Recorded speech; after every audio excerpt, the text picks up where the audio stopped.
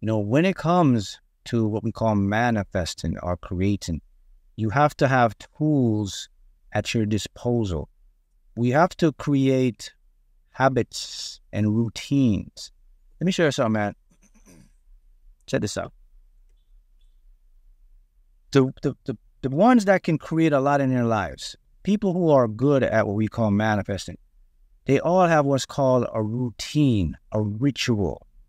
A ritual is something that you set up for yourself that every day you do the same pattern, you're on the same uh, routine or whatever you want to call it. And what that does, it actually helps your subconscious to keep a program running that will get you what you want in life. And you know the power of routine? One of the powerful things of having the right routine is the thing about routines is it creates what's called normality in your life. So, what is normality? Normality is a feeling you get that tells your unconscious mind that your world is perfectly set and it's perfectly right. That's important to have because if all of you guys know this, look, the steps to create anything in your life. Here's the steps if what you people want to say. Well, Mark, what's manifesting? How do I use the law of attraction? How do I use my mind and my all that stuff? It's steps. The first step is know what you want. The second step, project it. That's all like you could do um, scripting, visualizing. Once you project it, then you get into the next step, which is to expect it. And the expecting step is the one that most people fail and they trip up. Because when you get into expecting, people kind of throw it around. Expecting, they think it's attachment, it's detachment. Expecting is looking for the results. That's not expecting. When you go to expect something, it's a state of normality.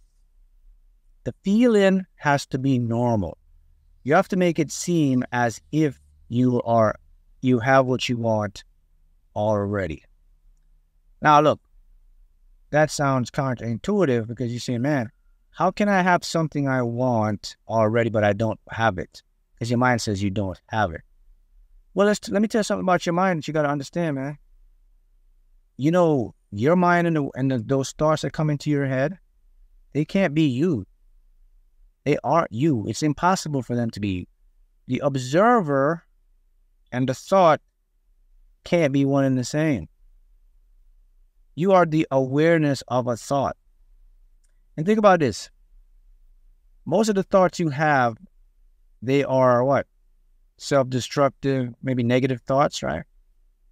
So if you if the thoughts are you, why would you talk negative or bad stuff about yourself? Why would you put yourself in in a negative fashion or a negative swing? You wouldn't do that to yourself, right? So it just goes to show you that these thoughts are coming from all different places. They're coming from your collect. They come from the collective. The collective is is a group of all of us that's tied. It's called our collective subconscious. So these thoughts come from there. These thoughts also come from our unconscious mind, which is illogical. They come from a lot of the programs that we were kids they come from memory when you're a little kid. They come from seeing other people, and they aren't you. And the interesting thing about the thoughts is it seems like it's your voice, but it's not your voice. It's not your voice. So you got to understand that. And when these thoughts come in, they will affect your field. Right? Your field. We feed our okay, we feed our subconscious the thoughts and it plays out into our reality. Yep, you, you definitely feed your subconscious because your subconscious is so illogical, man. It's like you're gonna hear me say the words a lot. Illogical, illogical, illogical. What does Mark mean? Illogical. Hear the word logical, and you have illogical. Oh means it's like the mind of a child. It's gonna it takes everything you say seriously. Get what I'm saying? So if we go back to the process to manifest, you decide, you project, you expect, and then you get into the state of normality.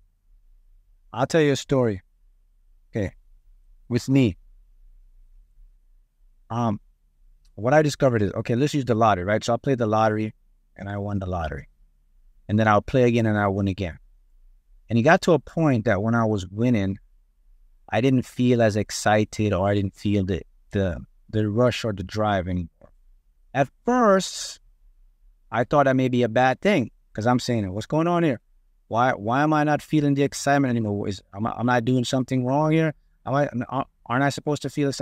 But I learned an important lesson. I understood that the more I did this, especially the more you win, you get used to it.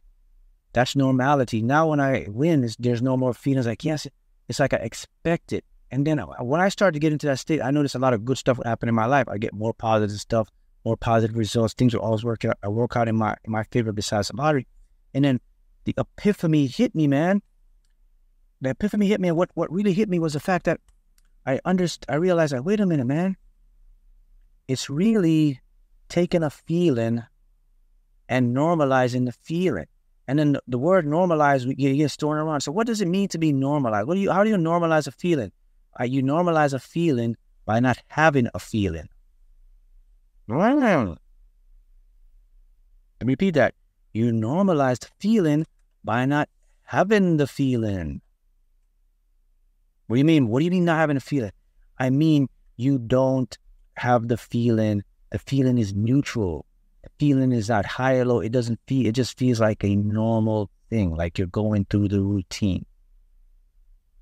And I was like, man, that was the epiphany right there. That changed everything. Because what I, what that led me to understand was that my subconscious mind lives in reality because reality can only exist in the present moment. So what's what exists in the present moment? Normality, normal stuff. What exists outside the present moment? Fantasy, awe, extraordinary things, hope, wish I could.